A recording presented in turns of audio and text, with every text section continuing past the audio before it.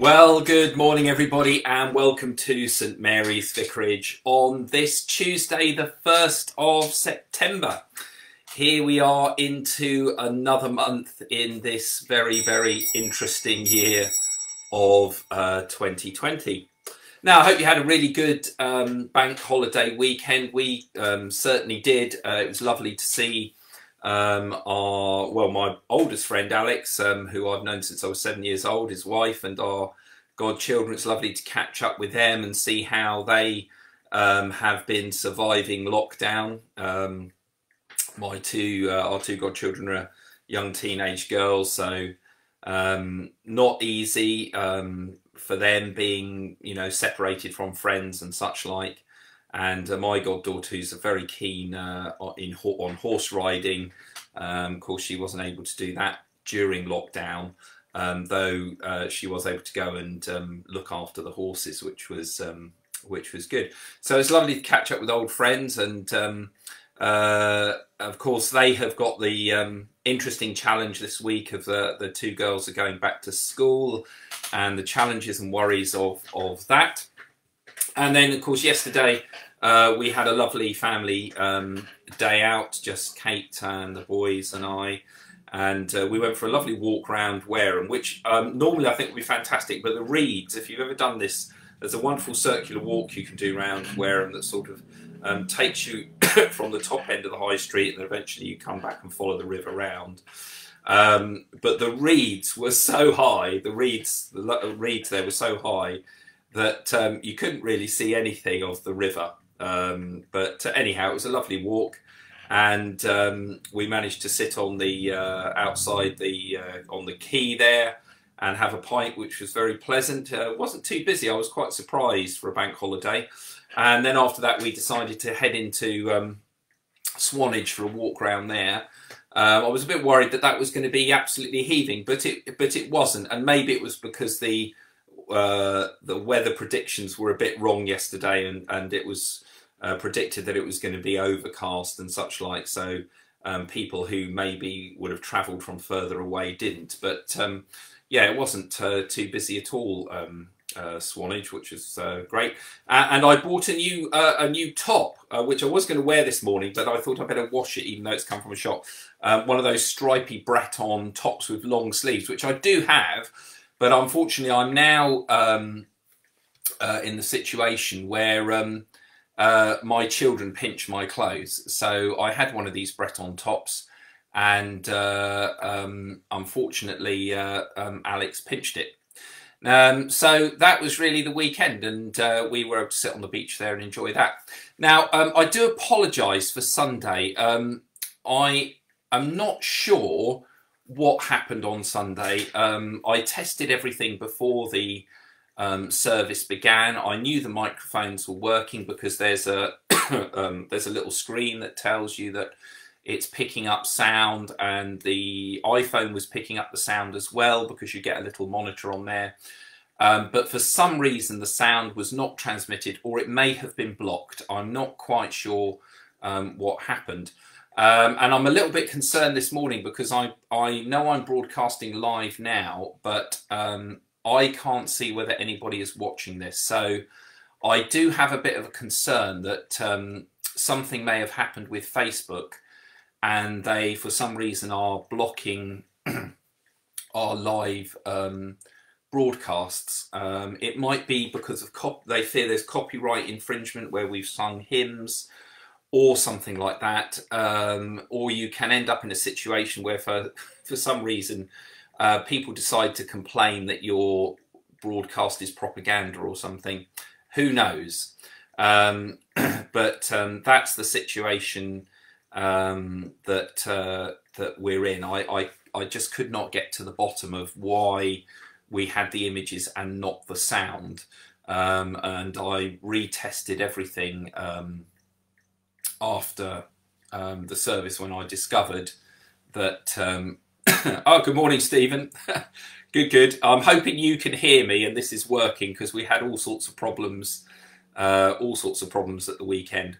So I haven't been able to get to the bottom of what the problem was, and I think it um, have been, it may have either been an issue with my iPhone that um, from time to time Facebook up update the settings and my phone on um, Saturday evening it did an upgrade so it did one of those automatic upgrades.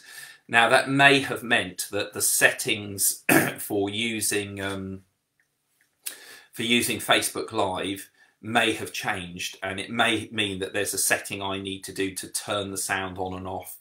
Um, and I will look at those settings in greater depth before we get to next Sunday and I may well do a um, one of my morning broadcasts from the church or outside this week if it's nice and sunny just to see and to make sure that um, Facebook Live is working but I do apologise for um, for how all that went wrong Thanks, Mary, loud and clear. Again, apologies to all of those who are watching at home. Uh, I haven't been able to work out what was wrong. All the tech, all the equipment seems to have been working. So I think it was either something to do with um, Facebook or some setting on my iPhone that has been upgraded or changed. Uh, but I will um, get this sorted and we'll do a bit of a test broadcast um, this week and see how it goes. Anyhow, here we are at the beginning of September. Now, I'll be honest with you that normally, when, excuse me, normally when we get to this um, uh, this particular time of year, this is a week I really don't like. I really don't like this week, and I'll tell you why I don't like this week. Um, because normally uh, I've had the joy of my whole family being um, at home, so the Kate has finished school in end of July. The boys have come back from college and uni, and we go through the summer as many other families um, do, and we spend a lot of time together. Uh, and that's great. Of course, yes, that has happened, but that's been happening since um, Easter.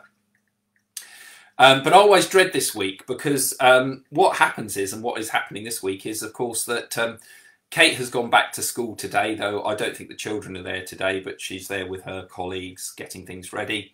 Um, ben will go off to college this week, and on Saturday we will take um, Alex up to London to begin his musical theatre course at the Royal Academy of Music.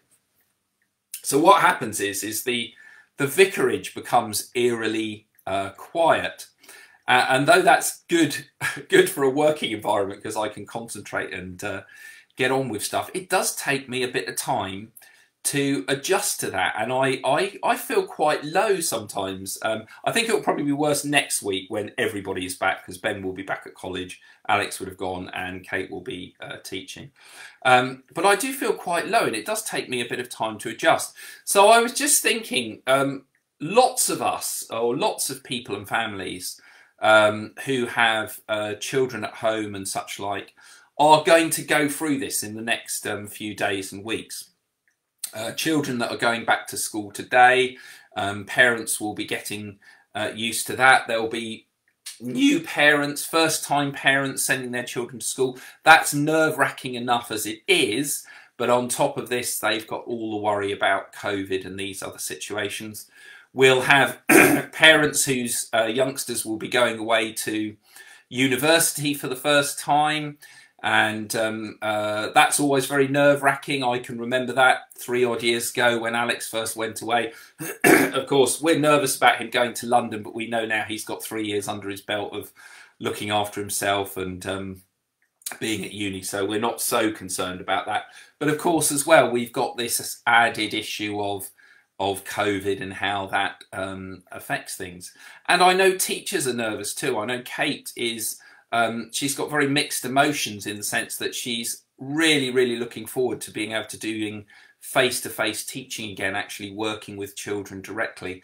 But she's also very nervous about what the next few weeks and months will bring as we sail into what is really completely uncharted um, territory.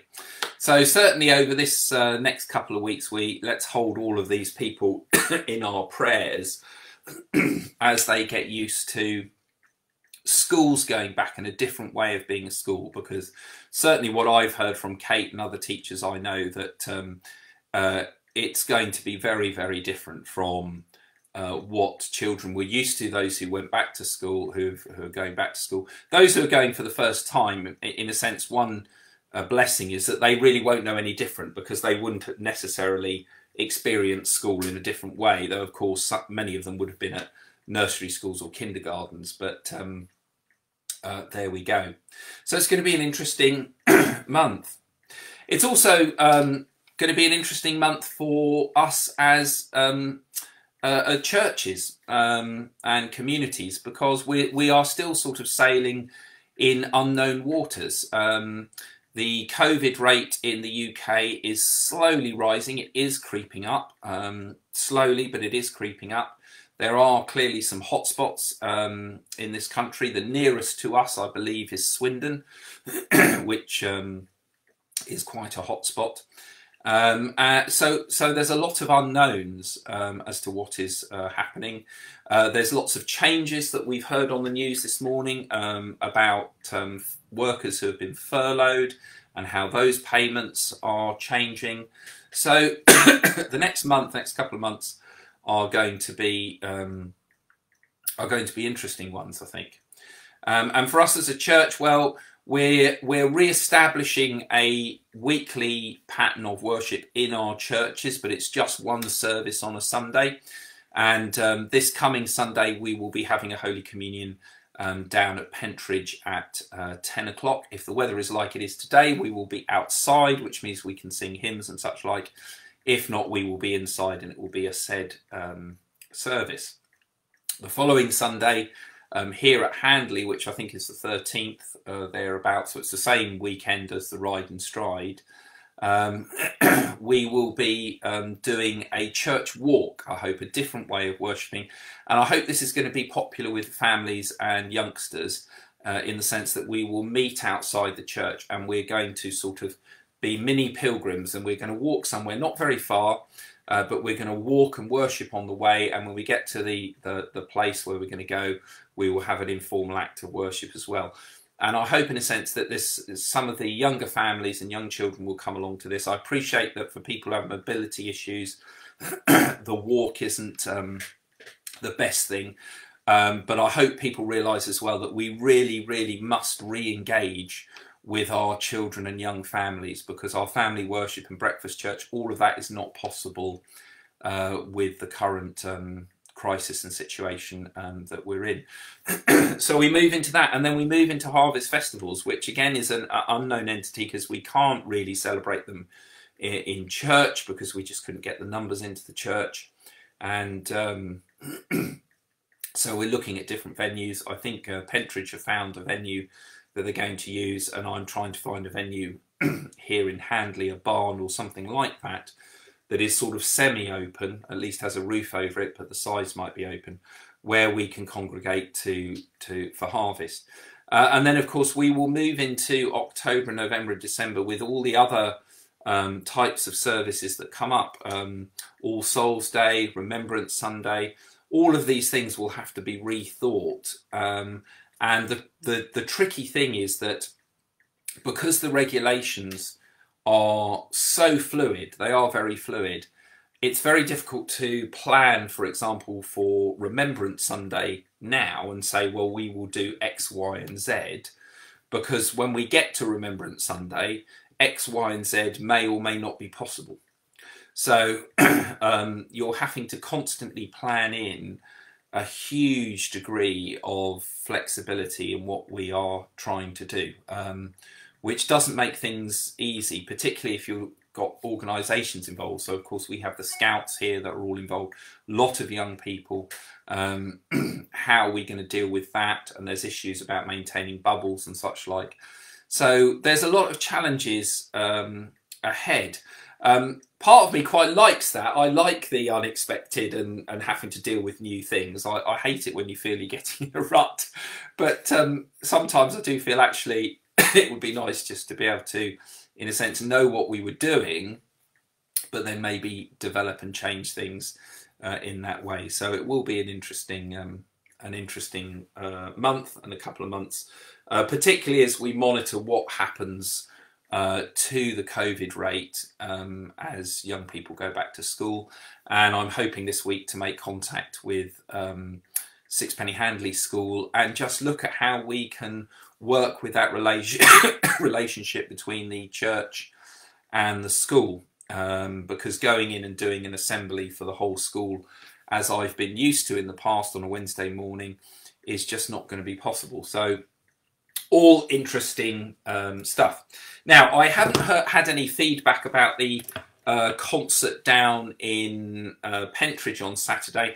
Uh, unfortunately, we weren't able to get to it. We were out all day with our um, our friends who were down with us, and we were walking down on Studland uh, Bay, and we didn't get back until uh, uh, well gone past seven. Um, but I hope for those who went, um, it was an enjoyable um, event because I know uh, Hazel and the Penwood um, brass there, they put quite a lot of effort into it. So looking um, at our reading this morning, I thought I'd read from Paul's first letter to the Corinthians rather than the Gospel. The um, you get a very sort of uh, this time of year they sort of just run through a whole Gospel, which means that you get several days where you just sort of get chunks of the Gospel, some of which are brilliant, others which um, just don't quite uh, hang. Um, but the reading from Corinthians this morning, um, Paul's first letter to the Corinthians, chapter 2, verses 10 to 16, um, I thought was lovely. So I'm just going to swap my glasses so I can see a bit better. the Spirit reaches the depths of everything, even the depths of God. After all, the depths of man can only be known by his own Spirit, not by any other man.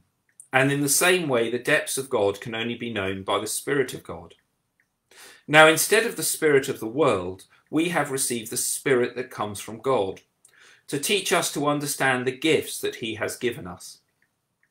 Therefore, we teach, not in the way in which philosophy is taught, but in the way that the Spirit teaches us. We teach spiritual things spiritually an unspiritual person is one who does not accept anything of the Spirit of God. He sees it all as nonsense. It is beyond his understanding because it can only be understood by means of the Spirit.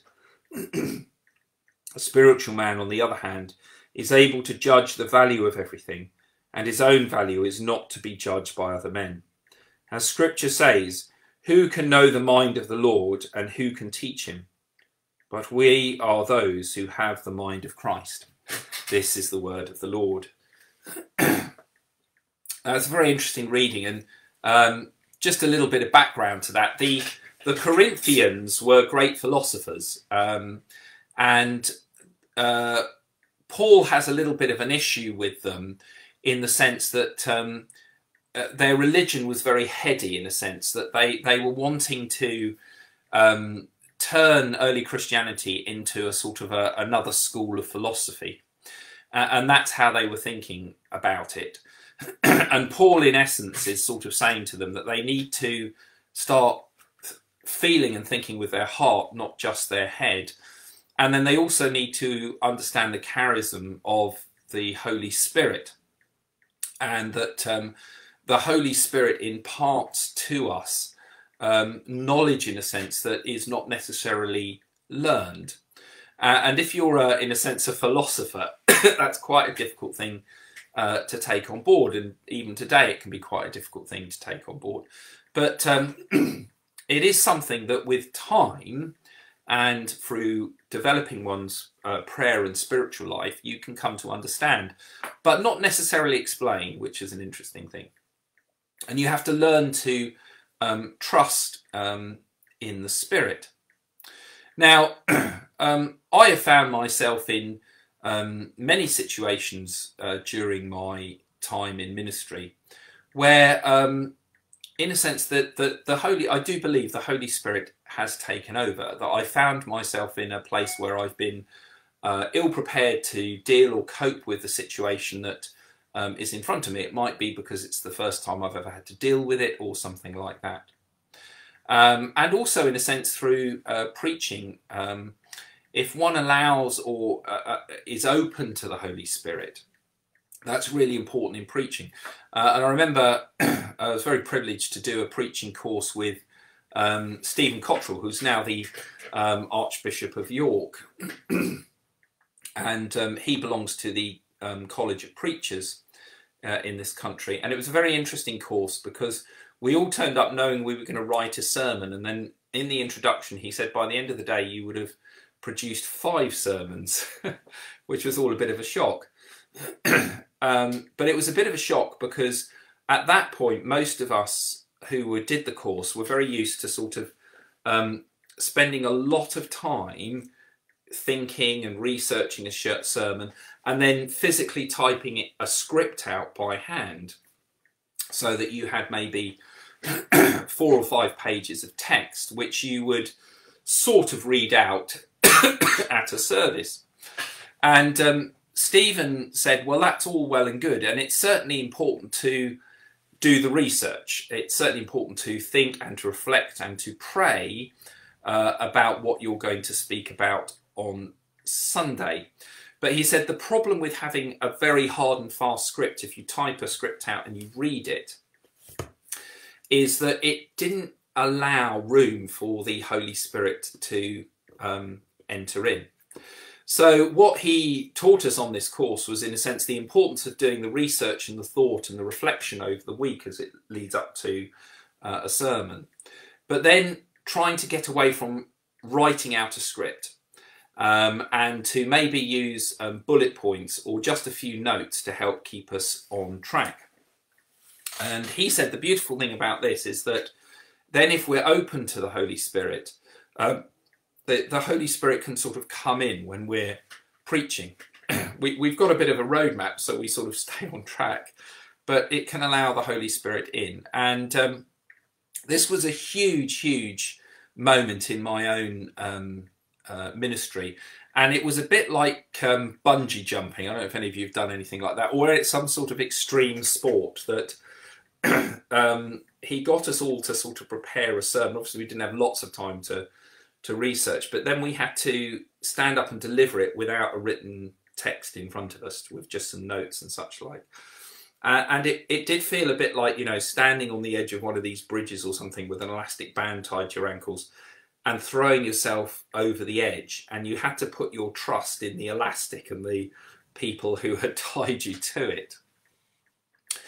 But when we had all done it, we all found it um, very invigorating and very freeing.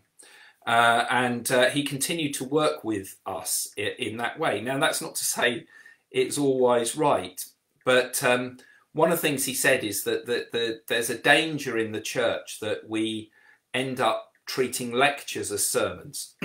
now, lectures very much have their place, and when you're delivering a lecture, it maybe is very important to have a written text in front of you or to have very, very accurate quotes from um, particular people, particularly if you're doing science or something like that. but Stephen Cottrell said that's not how a sermon should be. It needs to come more from the heart than the head. And um, and, we need to allow the Holy Spirit in. So that was one example, and, and there's been many times when I've um, been preaching that I have genuinely felt that that um, in a sense the words that I felt I was going to say uh, that I had thought about seemed to go out the window and something else comes in and almost um, speaks through you. I've also learned to trust the Holy Spirit in other things, in prayer as well. When I was first ordained and the tradition of saying the morning offices and things, I found that um, randomly uh, people's names or faces would come into my mind. And um, I remember talking to my uh, training incumbent, who was a very wise um, priest, and um, you know he said that's the promptings of the Holy Spirit, and you need to learn to be able to understand them and act upon them. And um, he said, well, next time that happens, um, why don't you go and visit the person that um, who, who you whose names come up, or give them a, a, a ring or something like that.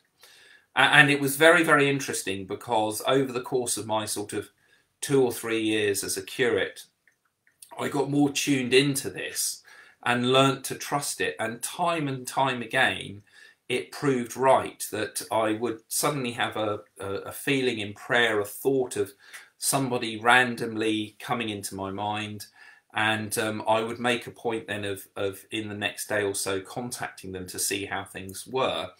Uh, and, and, normally there was a need there, there was a pastoral need. Um, so, and there's other examples I could give you, but I think that's the importance of trusting the Spirit. And what Paul is trying to get across here in his to the Corinthians is in a sense that yes, Christianity and faith there is a philosophical side to it. There is a side of great thought and um, all of that. And yes, that is important, but you must not push out the spirit.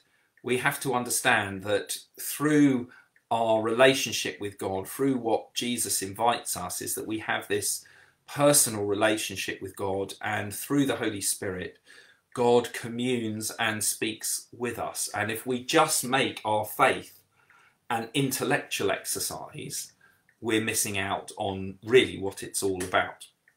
So, um, uh, very interesting reading. Uh, maybe we'll have a bit more from Corinthians um, uh, this week.